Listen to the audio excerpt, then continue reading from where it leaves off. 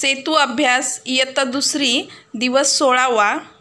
मराठीमध्ये आपण पाहणार आहोत अक्षर गटावरून शब्द वाक्य ओळखणे. त्यासाठी चित्र पहा. कप कपाट कढई कणीस. आता पहा ही शब चित्र आपण पाहिली. कप कपाट कढई कणीस. या प्रत्येक चित्रामध्ये पहिला आवाज सारखाच आला. कोणता? क. बरोबर. काय आहे हा आवाज?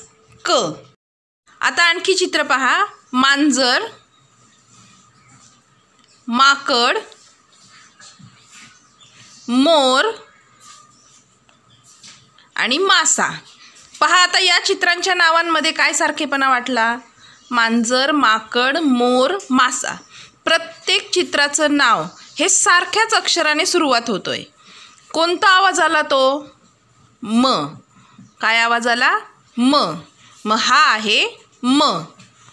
आता आणखी काही चित्र पाहूया. आगगाडी आवाजावर लक्ष ठेवा. आवळा. आरसा.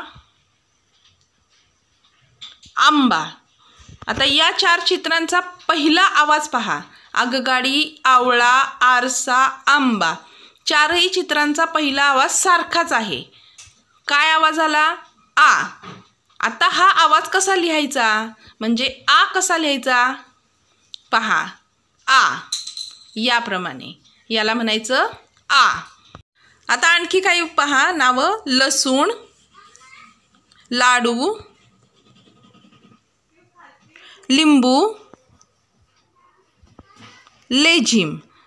पहा या चारही नावांमध्ये लसूण लाडू लिंबू लेझिम. पहिला आवाज सारखाच आलाय. कोणता आवाज आला पहिला?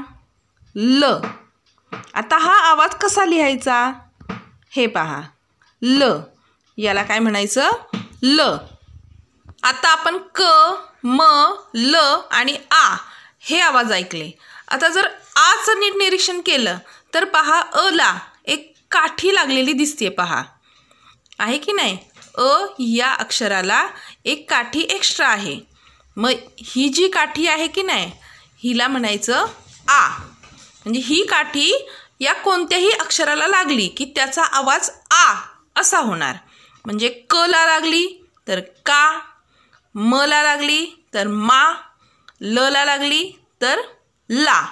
म्हणजे ही हे जे चित्र दिसतंय तुम्हाला काठीसारखं याचा आवाज आहे आ. हे स्वरचिन्ह आहे.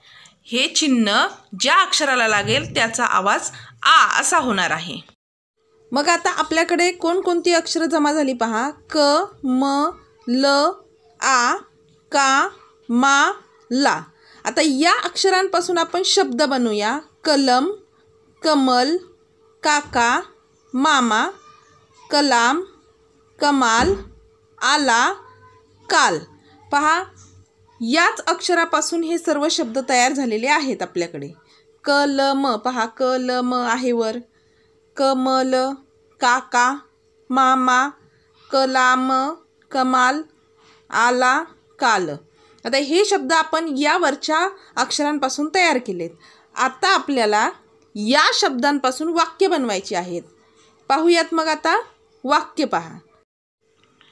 पहा आपल्याकडे हे शब्द आहेत आता वाक्य बनवूया काका आला का?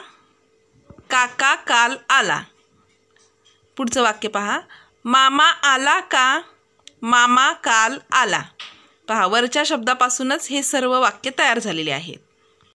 आता तुम्ही ही सर्व अक्षरं लिहायची या अक्षरांनी बनलेले शब्द लिहायचे आणखी शब्द बनतायत का पाहायचे आणि वाक्य लिहायची. आणखी तुमच्या मनाने वाक्य बनवली तरी चालेल. समजला मराठीचा अभ्यास तुम्हाला? विषय गणित संख्याज्ञान आपण पन्नासपर्यंतच्या संख्यांची ओळख पाहिलेली आहे. आता पुढच्या संख्यांची ओळख पाहूया. त्यासाठी पहा हा व्हिडिओ. आज आपण एक्कावन्न ते साठ या संख्यांची ओळख पाहणार आहोत. त्याआधी आपण पन्नासपर्यंतच्या संख्यांची ओळख पाहिलेली आहे.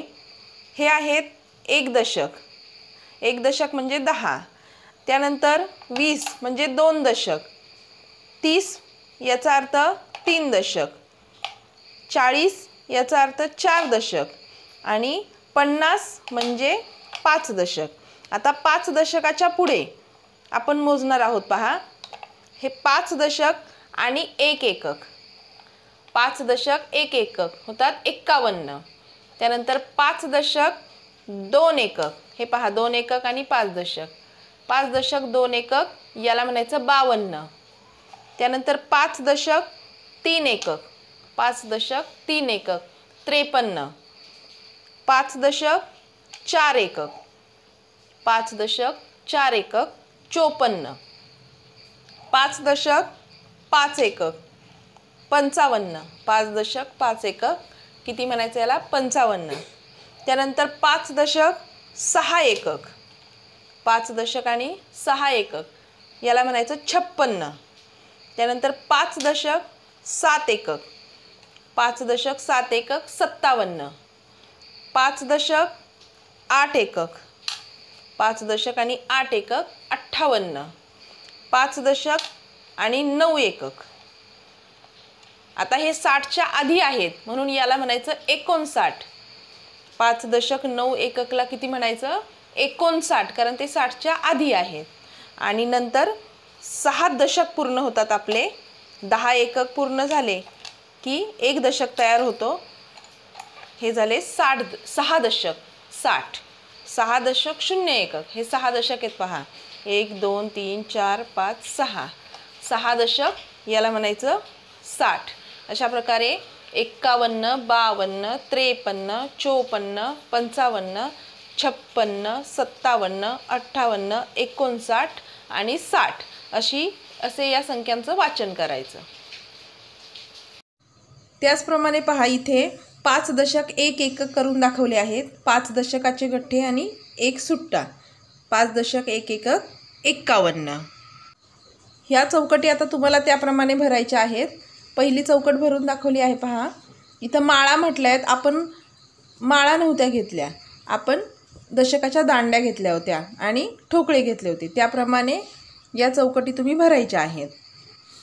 आता यामध्ये पहा एक्कावन्नपासून साठपर्यंतचे अंक अक्षरात दिलेले आहेत. ते वाचायचे आणि वहीमध्ये लिहायचे आहेत. इथे पहा चोपन्नच्या पुढची संख्या लिहायची आहे. अठ्ठावन्नच्या पुढची आणि छप्पन्नच्या पुढची संख्या लिहायची आहे. खाली रिकाम्या जागी योग्य संख्या लिहायच्या आहेत. आता इथं उलट संख्या आहेत पहा. साठ एकोणसाठ अठ्ठावन्न याप्रमाणे. तर या सर्व चौकटी भरायच्या आहेत आणि गणिताचा अभ्यास पूर्ण करायचा आहे. Subject English sequencing first you observe pictures carefully And tell me name the animal in this story correct dog now listen carefully Priya had a dog. Once the dog got dirty in a puddle. Priya kept the dog in the bathing tub. She showered him to make him more clean. Then she wiped him with a towel. प्रियाला एक dog आहे. एकदा तो dog चिखलामध्ये पडला आणि खराब झाला. मग प्रियाने त्याला घेऊन आली आणि आंघोळ घातली. आंघोळ घातल्यावर त्याचं अंग टॉवेलने पुसलं. अशी ही गोष्ट आहे. आता आपल्याला ही चित्र या गोष्टीनुसार अरेंज करायची आहेत. Arrange the pictures in proper sequence okay First, the dog got dirty in a puddle then uh, priya kept the dog in bathing tub third picture priya showered him and last picture she wiped him with a towel okay पहा कुत्रा आधी चिखलाने भरला होता दुसरी कृती प्रियाने त्याला बाथटबमध्ये ठेवलं तिसरी कृती शॉवर दिलं म्हणजे धुतलं त्याला आणि चौथी कृती टॉवेलने पुसलं. आता या चित्रामध्ये पहा write proper words in the blank places आता Rohan went his uncle's house Rohan त्याच्या अंकलच्या घरी गेला होता. First he saw his kitten आता तिथं कॅट दिसते की नाही? कॅटचं पिल्लू आहे. मग आपण किटन म्हणू शकतो कॅट पण म्हणू शकतो. First he saw his cat then he saw his dog lastly he saw his rabbit. He loves his pets. हे त्याचे पेट्स ॲनिमल्स आहेत. म्हणजे त्याचे पाळलेले प्राणी आहेत. मग पहिल्यांदा त्याने मांजर पाहिली नंतर कुत्रा पाहिला आणि नंतर ससा पाहिला. आता या चित्रामध्ये पण पहा तीन कृती दिलेल्या आहेत. First I pick a book next I find a place to seat and lastly I took my book I look at my book आता पहा पहिल्यांदा त्याने पुस्तक उचललं नंतर त्याने जागा शोधली बसण्यासाठी आणि तिसरं त्याने पुस्तक पाहिलं. या सिक्वेन्सने ऑर्डर आता पुढच्या लावायच्या आहेत तुम्हाला. पहा आता या चित्रामध्ये तुम्हाला त्याप्रमाणे लिहायचं आहे. सिक्वेन्सनी या ऑर्डर लावायच्या आहेत. आता ही चित्रे पहा ही गोष्ट माहीत असेल ना तुम्हाला? कावळ्याची. तहान लागते मग तो पाणी शोधतो त्याला पाणी सापडतं पण ते एकदम भांड्याच्या तळाशी असतं. मग ते काढण्यासाठी तो दगड टाकतो. दगड टाकून पाण्याची पातळी वर येते आणि मग तो पाणी पितो आणि उडून जातो. अशी ही गोष्ट आपण ऐकलेली असेल. तर आता ही जी चित्रे आहेत ही चित्रे आपल्याला क्रमाने लावायची आहेत. आता क्रमाने लावायची म्हणजे नंबर द्यायचे आहेत. पहिलं काय घडलं असेल? त्याच्याखाली वन लिहायचा. वन म्हणजे एक. नंतर काय घडलं? टू लिहायचा. म्हणजे वन टू थ्री या क्रमाने तुम्ही नंबर लिहायचे आहेत. या चित्रामध्ये पण तेच करायचं आहे पहा. सिंह झोपलेला असतो. त्याच्या अंगावर उंदीर नसतात नंतर सिंह उंदराला पकडतो. आणि मग सिंह उंदीर म्हणतो मला माफ करा मला सोडून द्या. मग सिंह उंदराला सोडून देतो. काही दिवसांनी सिंह जाळ्यात अडकतो. आणि मग उंदीर ते जाळं कुरतडून सिंहाला सोडवतो. अशी ही गोष्ट सगळ्यांना माहिती आहे. आता तुम्ही या चित्रांना त्याप्रमाणे नंबर द्यायचे आहेत. पहा तुमचे नंबर बरोबर आलेत का? इथे नंबर दिलेत पहा. त्यानुसार तुमचे नंबर बरोबर आलेत का? खात्री करायची. आता पुढचं चित्र पहा. आईस्क्रीम दिसत आहेत ना तुम्हाला? आता आईस्क्रीम खाता तुम्ही? आवडतात तुम्हाला आईस्क्रीम? या चित्राला सुद्धा नंबर द्यायचेत. सांगा बरं पहिलं कोणतं येईल? हां रिकामा कोण? नंतर हा अर्धवट थोडासा भरलेला. नंतर आणखी भरलेला. आणि शेवट पूर्ण भरलेला. बरोबर. अशाच आपल्याला वाक्यांच्या सिक्वेन्स पण लावता आले पाहिजेत. म्हणजे वाक्य जर सांगितले तर ते क्रमाने तुम्हाला सांगता आले पाहिजेत. पहा वाक्य ही कट द केक त्याने केक कापला. वी वेअर न्यू क्लोथ्स आम्ही नवीन कपडे घातले. He offered sweets and cake त्याने आम्हाला गोड आणि केक दिलं. We went to Sahil's house for a birthday party आम्ही साहिलच्या बड्डे पार्टीला गेलो. आता कोणतं वाक्य आधी येईल? वी वेअर न्यू क्लोथ्स नवीन कपडे घातले. We went to Sahil's house for birthday party birthday पार्टीला गेलो. ही कट द केक त्याने कट केला. And he offered sweets and cake हे सांगता आलं पाहिजे तुम्हाला. पुढची वाक्य पहा. Anu is serving pulao Priya is making pulao Raju is cutting vegetables Geeta is washing vegetables आता काय पहिलं झालं असेल?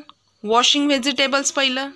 नंतर कटिंग व्हेजिटेबल्स नंतर making pulao and last serving pulao. याप्रमाणे गोष्टीतल्या चित्रांचा आणि ऐकलेल्या वाक्यांचा सिक्वेन्स लावता आला पाहिजे. आता तुम्हाला जर ही वाक्य लिहिता येत असतील तर ती लिहायची पण सिक्वेन्सनी लिहायची क्रमाने लिहायची आहेत. प्रयत्न करायचा आहे. समजला अभ्यासाचा?